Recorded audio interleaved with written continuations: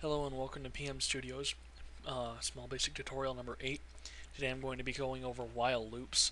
Um, it's a very simple tutorial. It's going to be very, very short. I'm guessing it's probably going to be about 5 minutes, give or take about 20 seconds. Um, and so the first thing you're going to want to do is you're going to want to open up small basic and create a new document. After that you're going to do number 1, we're going to declare a number number 1 equals, actually let's call it s so that's easier for me to explain. S equals 100 and um, then we're going to do begin. And put our colon, start our loop, and while s is greater than 1 I'm going to do text window dot write line. Oops. Write line. And inside that we're going to write s. And after we do that, we're going to redefine s as s uh, equals s divided by 2, which means we're starting out with 100. That is s. And as long as s is greater than 1, it's going to show you what s equals, and then after it does that, it's going to divide s by 2. So it should come out to 100 and then it's going to divide it by 2 and it'll show 50 and so on and so forth. So after we do that we're going to do our end while. And then we're going to put in an if statement. So if s is less than 1 then we're going to go to the begin. And then we're going to end our if statement. Excuse me. And that should be our entire program. So if we push F5 it's going to show up. And as you can tell um, the reason why the mouse has the loading the, little hourglass button uh, and the uh, it looks like it's flickering a lot is because it's actually redoing these numbers at least twice twice a second. So as you're looking at it it's doing 100 50 25 12.5 6.25 3.125 1.5625 two times a second. It's printing all those numbers twice a second. So uh, as you can tell, this works, it functions perfectly.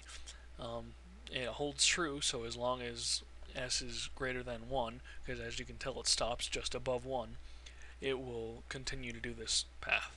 So if we were to close this and I were to show you a different application for it, excuse me again, s could equal a quote, so hello YouTube. And we can change this to as long as s equals and then quotes again, hello, YouTube. You have to write it exactly the same or it won't show up. Then you can write S, and you can delete this if statement. And there you go. That would be another functioning one where it would continuously write hello YouTube over and over and over again, which would be good for a practical prank, and as you can see it's writing hello YouTube mm, at least five times a second here because it doesn't have any math to process so it's a little bit faster. I could be wrong in the numbers too, it could be going even faster and I may not know it. But either way, as you can tell, it's writing hello YouTube forever and ever and ever until hello YouTube doesn't equal hello YouTube, which we all know will never be true as long as we don't change the parameters inside the text. Um, there are in parameters inside the programming. So that's pretty much the entire thing. Uh, some of the basic applications you could use this for is um, some uh, um, some prank spammers, for instance. Um, uh, you could. That's really all I can think of at the moment. You could use it for um, bogus spyware. You can use it to, um, in later applications, you can create it to um, to create regular loops where it loops it until you get a certain outcome uh, with extra mathematics involved. But either way, that's the entire tutorial. Um, from here on out, if you guys would like me to make a tutorial on anything in Small Basic, please leave a comment on my on one of my videos. It doesn't matter which one, I'll catch it.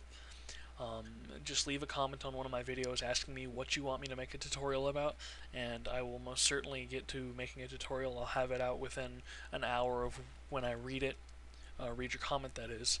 Um, other than that, what you guys can expect from me in the future is more Photoshop tutorials, and I'll be continuing on to Quick Basic, or QBasic as most people know it. Um, I'll give you an explanation of how to attain that, how to run it, and so on and so forth, how to program inside Quick Basic, which was the original form of basic programming. But, um, I mean, other than that, that's really it. I can't make any more small basic tutorials in the moment because I have nothing else that I can really teach you guys about at the moment. There, I've really given you all the basic skills that I can at the moment to go out and create your own programs.